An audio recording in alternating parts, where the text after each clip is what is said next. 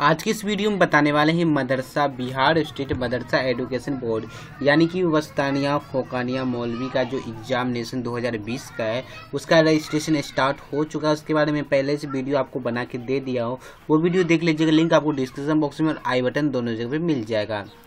और रजिस्ट्रेशन करने के बाद आपको कुछ पेमेंट करना होगा। पेमेंट कैसे करेंगे वो आपको हम बता, इस वीडियो में बताएँगे।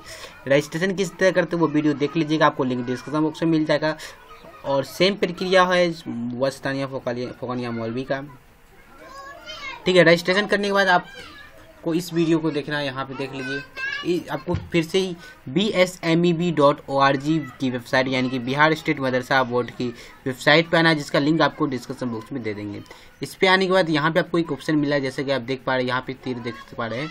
Online fee payment for examination twenty twenty यानी कि फ़ी पेमेंट कीजिए एग्ज़ाम के लिए, ठीक है? उसके बाद यहाँ पे रेफरेंस नंबर देना होगा और यहाँ पे एक ईमेल एड्रेस देना होगा, ठीक है?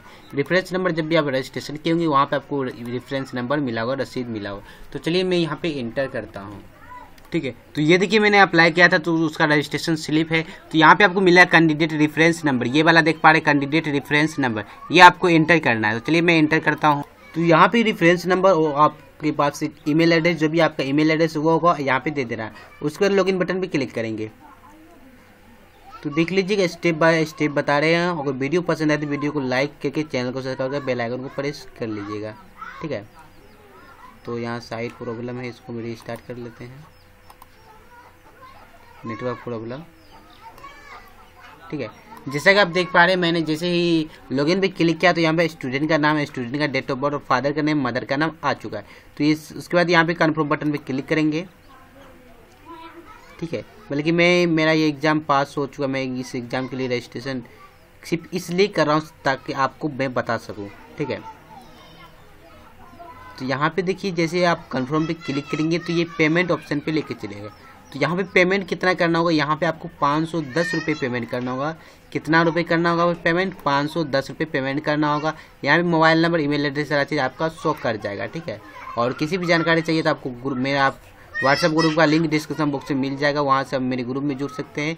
और वहाँ से कोई भी सवाल का आप यहाँ, किसी भी सवाल का आप जवाब ले सकते हैं मतलब हेल्प ले सकते हैं। ठीक है? उसके बाद यहाँ पे डेबिट कार्ड या नेट बैंकिंग या यूपीआई से पेमेंट कर सकते हैं, जिसे करना चाहे कर सकते हैं। अगर आप डेबिट कार्ड से करेंगे तो आप पाँच सौ दस रुपये ही कटेगा, इसके एक्स्ट्रा कोई एक्स्ट्रा कोई चार्ज नहीं करेगा। अगर आप नेट बैंकिंग से करते हैं तो यहाँ पे बैंक सेलेक्ट करेंगे, कौन सा बैंक आपका नेट बैंकिंग है तो मैं बता देता हूँ कितना इसमें चार्ज कटेगा। तो स्टेट बैंक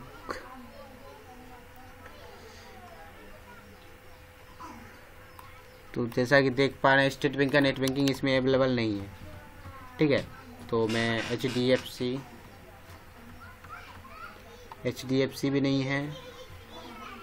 ठीक है? मान लीजिए मैं एक कोई भी सेलेक्ट कर लेता हूँ सिर्फ़ बताने के लिए, ठीक है? Central bank of India select करने के उसको पेनों पे क्लिक कर देंगे। तो यहाँ पे चार्ज देख लेते हैं नेट बैंकिंग में कितना एक्स्ट्रा चार्ज लगता है। डेबिट कार्ड से अगर पेमेंट करेंगे एटीएम कार्ड से सिर्फ़ पाँच सौ दस ही कटेगा। और इसमें क्रेडिट कार्ड का जो ऑप्शन है, वो अभी तक नहीं है। तो मैं नेट बैंकिंग से इसलिए बता रहा हूँ ताकि आपको ये पता चले ट्रांजेक्शन चार्ज कितना कट रहा है और टोटल कितना होगा? पाँच सौ दस रुपये और हम आपको सजेशन देंगे कि आप डेबिट कार्ड से ही करें ताकि आपको पाँच सौ दस ही कटे, कोई ट्रांजेक्शन फ़ी नहीं कटे, ठीक है? अगर आप नेट बैंकिंग से भी करते हैं तो यहाँ पे आपको पाँच सौ दस रुपये ही कटेंगे, कोई चार्ज आपको एक्स्ट्रा नहीं कटेगा। तो ये बहुत अच्छी बात है, ये नेट मतलब ट्रांजेक्शन चार्ज नहीं लिया जा रहा है। अगर नेट बैंकिंग से करेंगे तो फिर भी आपको दस, पाँच सौ दस रुपये कटेंगे। अगर आप डेबिट कार्ड से करेंगे, फिर भी पाँच सौ दस रुपये कटेंगे। अगर यूपीआई से करेंगे तो फिर भी आपको पाँच सौ दस रुपये कटेंगे, ठीक है? उसके बाद यहाँ पर आपको टिक मार्का लगा देना है। टिक मार्का लगा करने के बाद कन्फर्म बटन पर क्लिक करना है। देखिए, ये ये पेमेंट करने के बाद इसका जो रसीद होगा, सारा रसीद, आपको जिस मदरसा में अप्लाई किए, उस मदरसा में आपको जमा कराना होगा।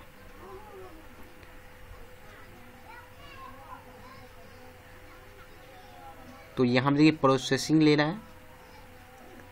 मैं पेमेंट नहीं करूँगा क्योंकि मैंने आपको पहले बता दिया, मेरा ये एग्ज़ाम पास हो चुका है। मैंने रजिस्ट्रेशन इसलिए कर रहा हूँ पेमेंट का मतलब वहाँ तक प्रक्रिया मैं इसलिए बता रहा हूँ ताकि आपको किसी तरह का दिक्कत ना हो, ठीक है? तो आप यहाँ पे अपना जो भी बैंक सेलेक्ट कीजिएगा, उस बैंक का नेट बैंकिंग यहाँ पे आ जाएगा। तो यहाँ पे यूज़र नेम यहाँ पे पासवर्ड इंटर करने के बाद लॉगिन करेंगे। लॉगिन करने के बाद आपके पास, आपके मोबाइल पे एक ओ आएगा। उस ओटीपी को आपको इस बॉक्स में इंटर कर देना है। उसके बाद तो आपका ये रजिस्ट्रेशन सक्सेसफुल हो चुका है पेमेंट भी हो चुका है। मतलब ये आप एग्ज़ाम के लिए ऑनलाइन सक्सेसफुली सारा चीज़ कर चुके हैं पेमेंट वगैरह। अब आपको क्या करना है, इसको जो रसीद होगा, जो रजिस्ट्रेशन रसीद और पेमेंट स्लिप दोनों स्लिप को आपको जो भी मदरसा में भरे हैं, उस मदरसा में आपको जमा कराना होगा। दोस्तों, उम्मीद करते हैं ये वीडियो आपको बहुत पसंद है वीडियो पसंद है तो लाइक कर दीजिएगा और अपने दोस्तों के साथ शेयर करना तो बिल्कुल नहीं भूलिएगा। वीडियो कैसा लगा उसके बारे में कमेंट कीजिएगा। किसी तरह के और वीडियो चाहिए, किस टॉपिक की वीडियो चाहिए, वो हमें बता दीजिए कमेंट सेक्शन में, ताकि हम आपकी हेल्प कर सकें। वीडियो देखने के लिए बहुत बहुत शुक्रिया।